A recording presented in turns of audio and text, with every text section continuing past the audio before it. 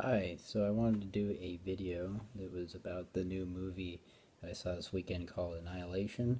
and I, I, wrote tons of notes, so I'm not going to waste that opportunity. I'm just going to literally um, say everything that I was thinking right after um, driving back from the movies, um, from seeing it. Uh, first off, the movie script was very well written. With the written, the general audience at times was confused on what was written what was actually happening, which makes this a refreshing take take for the whole industry as a whole.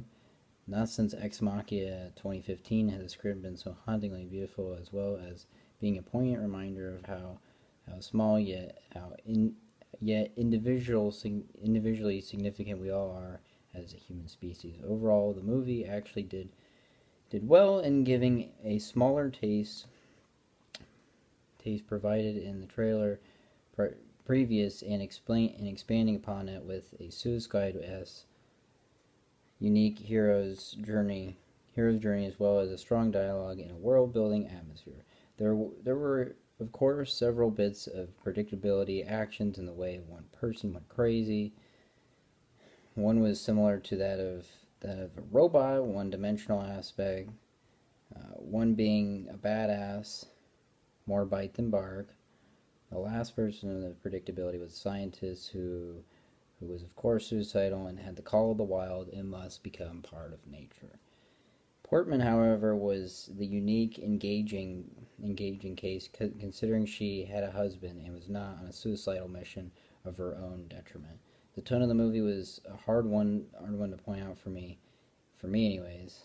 But if I had to say one thing, I would have to say it was the colorful uses with the Foreign lights was one to classify. The theme, of course, being the, being to restart and restart and recycle the world.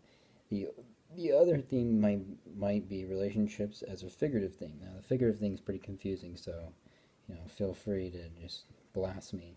The figurative sense of the theme, in my opinion, is based heavily on the notion Portman and Isaac, Oscar Isaac, relationship slowly dying, dying out, with him first almost dying you know, in real life, but you know, in a figurative sense. Um, going back, going back in the flashback to those good old times and the relationship, and then showing, then switching back to Portman, regret, regretting and betraying seemingly dead husband, which I don't really think he was dead. I think that was actually happening in real life. If if it's a figurative thing, then yes, this is a, this is another subplot of the shimmer itself as a hallucination dream state for both Isaac for both of Isaac and Portman that ends in the violent fashion of getting rid of their relationship by burning by burning himself literally with a flash grenade. While Portland, my Portland Portman was willing to go all to go at, at all lengths to have these their their dying relationship despite her cheating. I know I know what you're all thinking. I know what everyone's thinking. Well, those were previous feelings and traits made into other people what about those other people in the movies was what I was trying to say. Well, I guess they were just all part of the dream too. They could be in past experiences. Now, the literal sense of what was actually happening it was in fact based on possible of three things.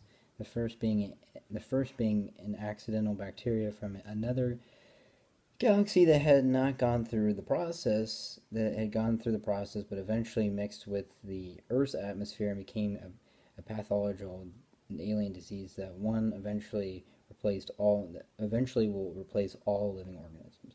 The second possibility, literal ex- explanation for the shimmer, was the asteroid br- breeding new life, as in the case of another film called Life 2017, awful movie, that became intelligent and with time was planning on remaking the world that we live in from a subconscious level or a conscious level.